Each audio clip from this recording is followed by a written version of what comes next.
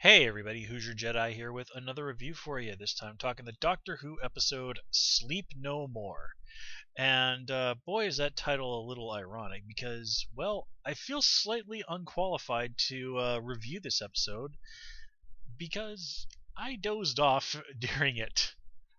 Uh, long story short, Saturday I had uh, to get up at like 5:30 in the morning and uh, it was a pretty long day for various reasons.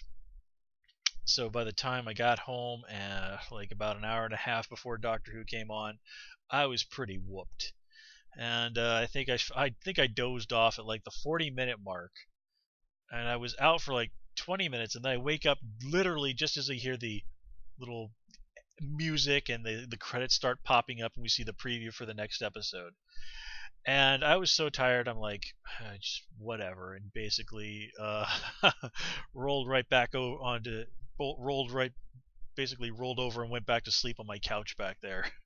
I was that tired, and I didn't even and I didn't even watch the uh, broadcast of it, the rebroadcast a couple hours later, uh, just because again I was so tired, and also because like up until that point the episode had felt fairly lackluster. I mean, it wasn't bad on.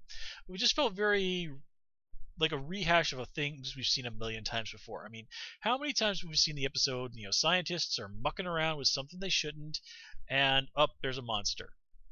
Well, we've seen that a million times. We've seen that a million times on Doctor Who. You know, this has just seemed like at first like the typical base under siege episode in a lot of ways. Again, something we've seen a hundred times on Doctor Who. I mean, it was certainly well done, and the episode was atmospheric. Um, we had Chopra, the four to whatever the hell, and Deep on Ando. Um, I mean, they did take time to give those characters, you know, a little bit of personality, some degree of backstory before they offed them. I mean, they did make it feel like they could be characters that we might see again, or at least reasonably well sketched out one shot characters. I mean, they certainly weren't Sally Sparrow or anything like that, but good enough. Um, oh yeah, well, Nagata, she did live. Um, and um, you know, I mean that, that that stuff was all well and good, but I mean, I'm watching the early parts of this episode, and st- the, the scientist guy starts going on about the whole thing of like, okay, you know, here's what I did. I got rid of sleep, and I'm like, oh god, they're gonna call the monsters Sandmen, aren't they? Like, oh man, I bet somehow they were gonna reference to that old Mr. Sandman song, because like old songs from the 50s have kind of been on my mind lately because Fallout 4. Oh, Fallout 4, Fallout 4, Fallout 4. But anyway, and of course, they do all those things, and I'm like, oh, God, really? Really? So, I mean, all of that really kind of added up to me not being super bothered by dozing off and missing the end of the episode. It wasn't until I got up the next morning and started uh, doing a little bit of reading about what other people had to say. I'm like, whoa, there is. Uh, apparently, I missed quite the twist at the end. Now I do like how they um, sort of riff on those stupid found footage horror movies, where it's always like, why the hell is anybody recording this? And here they offer a perfectly good explanation. It's it's the monsters that are recording this, not not the people. And that's part of the the monsters' agenda is to record all this and have people watch it. I mean, that twist at the end, when I read it, I was like, wow, okay, now I'm disappointed that I dozed off. And with Clara being, you know, being infected by this whole situation, well, this kind of feels like something that'll probably factor into how Jenna Coleman leaves the show. Uh, hopefully, things will work out for her a little bit better than they did for Donna. And, um, yeah, let's see, what else? Uh, oh, yeah, the whole thing with um getting rid of sleep, right? And they basically say it's like, all right, you can get rid of sleep, and now you can spend more time working. Well, why the hell does anybody want to spend that time working? I mean, is it like? People can't say like you can spend that more. That's more time for you to go snowboarding or something like that. I mean, granted, it's all corporate sponsored or whatever the heck, but still, I mean, really, would people want to spend an extra eight hours a day working?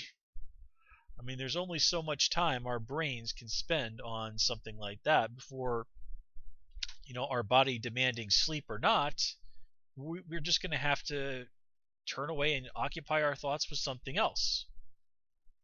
I mean, that, that that's just the way the human mind works. We can't indefinitely stay focused on one task.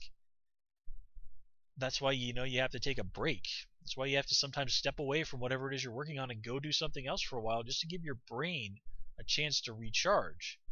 And sleep doesn't really have anything to do with that. So, yeah, I mean, never mind how horribly, horribly cliched the name Morpheus is. I mean, sometimes, sometimes you just kind of have to let shows have things like that. And yeah, I mean, it was definitely a t- really twisted ending. I mean, the Doctor doesn't even really fully understand what's going on, and it wouldn't surprise me if this kind of comes back to to haunt uh, haunt the Doctor in some in the remainder of the series. I mean, you'd think that, hey, if these sleep monsters were going to go out there and destroy humanity, that would have kind of been the thing and recorded in history, and the Doctor would be aware of it. Also, I do like how the Doctor does take to, the time to properly explain what you know sleep is. You know that in our eyes, he, he is correct. It's mostly just like skin cells and stuff, uh, skin cells and like salt from our tear ducts, our tears, I should say. At least that's what I remember from when I was in school and uh, that actually jives one time when I was uh, when I was in high school. We were messing around with microscopes, and I happened to rub my eye, and like a little piece of sleep kind of came out on my finger, and I'm like, oh, let's stick this under the microscope and see what it looks like. And it looked, uh, if I remember, oddly crystalline. Uh, but anyway, yeah, that's pretty much all I really have to say about this episode. Uh, I mean, I literally slept through a third of this episode, so. Um, anyway, guys, that's all I have for you this time around. As always, please comment, rate, and subscribe, and of course, you can follow me on Twitter at Hoosier Jedi. Until next time, take care and have a good one.